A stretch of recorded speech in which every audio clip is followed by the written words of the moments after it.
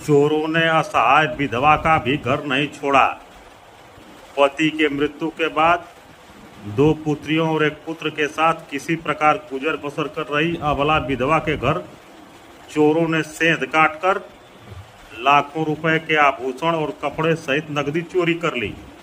यह वाकया है गाजीपुर ज़िले के मर्दा थाना क्षेत्र के कोर गाँव का। मंती देवी, पत्नी स्वर्गीय राजेश चौहान कोर गाँव के निवासी हैं। इनके पति राजेश चौहान की मृत्यु 12-13 साल पूर्व हो गई थी। उनके मृत्यु के बाद उनकी पत्नी मंती चौहान किसी प्रकार अपने तीन बच्चों का पालन पोषण कर रही है। बीती रात्रि में चोरों ने सेध काटकर महिला के घर में बड़ी पुत्री की शादी के लिए रखा, आभूषण, नगदी और साड़ियाँ, कपड़े आदि चोरी कर लिया। इस असहाय के घर चोरी के बाद गाँव में सभी लोग दुखी और परेशान हैं। महिला ने बताया, विधवा पेंशन मिलती है और वो बकरी पालन आदि करके किसी प्रकार परिवार का जीविकोपार्जन करती है, बच्चों को पढ़ाती है। बड़ी पुत्री की शादी के लिए पैसा जोड़ जोड़ के उसने कुछ आभूषण बनवाए थे, साड़ियाँ खरीदी थी और दस हज़ार नकद रखा था।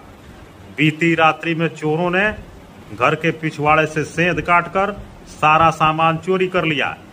इस विधवा महिला की दयनीय दशा के बावजूद इस चोरी की घटना से सभी लोग दुखी हैं और गाँव के लोगों में आक्रोश है। इस विधवा महिला के घर में चोरी किसने की? इस निंदनीय घटना से गाँव में आक्रोश व्याप्त है। विधवा इस घटना के बाद से दुखी और परेशान है। इस गाँव की सबसे असहाय और गरीब महिला के घर चोरी की घटना के बाद सुबह जानकारी होने पर सैकड़ों की तादाद में ग्रामीणों की भीड़ मौके पर जुट गई।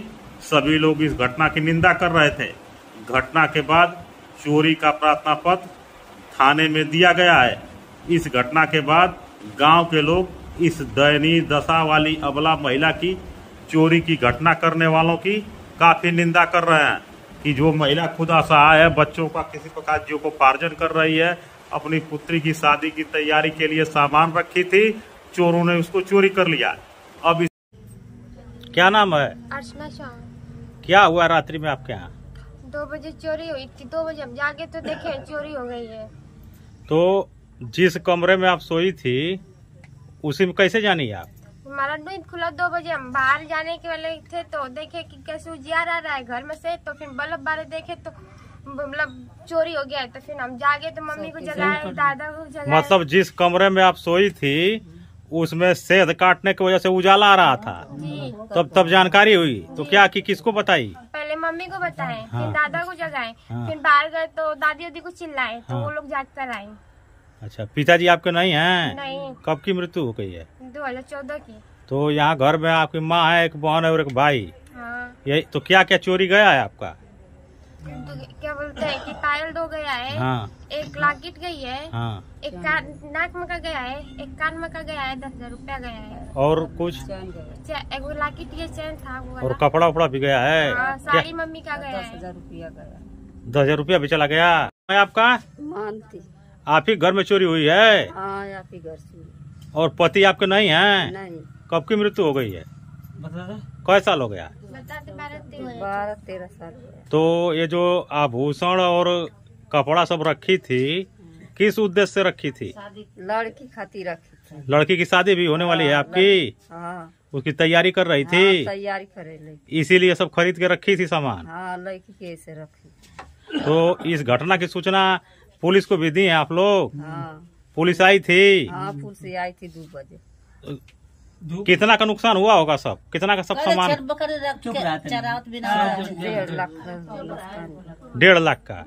तो ये सब कहाँ से इकट्ठा की थी आप? कहाँ से हम्म, सामान? थोड़ा मतलब पेंसिल पहले मिलता था वो था। हाँ। बकरी बेच के मतलब बकरी पालन करती हैं वही हाँ, बेच बेच के इकट्ठा की थी लड़की की हाँ, शादी के लिए। आपके लड़के हैं? हाँ मतलब और ये दो लड़कियाँ हैं? इन्हीं के साथ आप रहते हैं पति की मृत्यु के बाद। और कोई कमाने वाला घर में नहीं है। कमाने वाला कोई नहीं लड़की बच्चा लेके अपन अकेले रहते मतलब बकरी पालन करती हैं बकरी पालन करके रोजी रोजी वही रोज़गार का स्रोत है आपके आय का। लड़के पढ़ते हैं वो लड़कियाँ। लड़का है पर मज़ा उसमें पढ़ते हैं। ये वही पर- सरकारी स्कूल में पढ़ते हैं। सरकारी सरकारी पढ़ती है वो प्राइवेट में पढ़ता है नाम गुंजन चौहान है। मैं ग्राम सभा कोर का मेरी पत्नी धर्मावती देवी क्षेत्र पंचायत है। अच्छा उनके प्रतिनिधि आप हैं? जी। ये घटना आपके गाँव में हुई है चोरी की। किसके घर में चोरी हुई है? स्वर्गीय राजेश चौहान के घर में हुई है और इनकी इनकी पत्नी का नाम मंती देवी है। तो ये कब जानकारी हुई आप लोगों को? हम हम तो जानकारी हमको हुआ मैं जब मैं शौचालय के लिए इधर आ रहे थे तो मैं पुल में पता चला सिक्स लेंथ में कि जो है कि हमारा उनके घर में चोरी हो गई मंती देवी की। कितना का नुकसान हुआ होगा कम से कम डेढ़ से कम नहीं डेढ़ से पारे होगा कुछ और डेढ़ से कम नहीं है डेढ़ से अधिक होगा। तो ये बता रहे हैं लोग कि लड़की की शादी की हाँ लड़की की शादी की तैयारी कर रहे हैं लड़की लड़का लड़का देखने के चक्कर में पड़ी है कि हमारा बच्ची के कैसे मैं गरीब आदमी किसी से हमारी बच्ची का शादी हो जाए। उसी उद्देश्य से सब इकट्ठा करके रखी। उद्देश्य से वो इकट्ठा की थी अकर करके सोच रहे कि हम अपने बच्ची का शादी कर लेंगे हम इससे उत्तीर्ण तो हो जाए कम से कम। एक बार नहीं दो दो बार इनके घर में चोरी हुआ। इसके पहले भी हुआ था। इनके घर में जो है कि 2013 में भी चोरी हुआ था ऐसे ही। इससे ज़्यादा भी गया था कम से कम दो चार पाँच लाख का संपत्ति ये लोग लेकर चले गए जब तक इनके पति थे हाँ। 2013 में इनका पति थे हाँ। तो बम्बे में गाड़ी उड़ी चलाते थे हम्म। चलाने के बाद ये जो है कि क्या किए कि अपना बच्ची के परिवार के लिए सभी लोग इकट्ठा करते हैं। कर रहे थे उसमें कि हमारा बच्ची हमारा गरीब आदमी है जो कि हमारे बच्ची को जो है शादी उदी करने के लिए दो दो बच्चियाँ हैं शादी करने के लिए हमको चाहिए। तो बस सारे भाई जो है अलग रहते हैं इनसे। कोई सहयोग करने वाला नहीं एक दादाजी है वही इनके में रहते हैं थोड़ा कहीं से सहयोग हो जाता था हो जाता है कर देती है कर देते हैं मतलब आपके गाँव में सबसे असहाय है। सा- सबसे असहाय बेचारी है। यही तरह का ना का खड़ा हो तेरा अलग लगा सकी जाओ अरे मो सुबेरा सामान वहाँ जाके घर थी ना देखो बिच्छी निकलत है तो रंजवा चिल्ला तो कहने बिच्छी है। सर जाओ।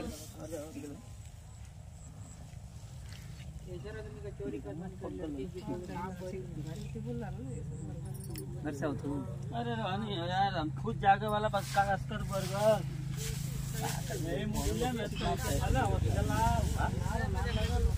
तो तकले उसमें बताओ। वो पलटी है। वो पलटी हाँ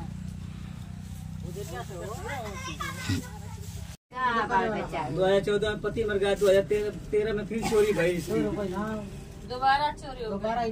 दोबारा चोरी है मैंने ऐसा कड़े आदमी का चोरी कर खाना लोगन के ना चोरी कैल जब ना क्योंकि शादिया के बाद चले लगल उ सोचना कि पूरा कमिया यही से फिर कैला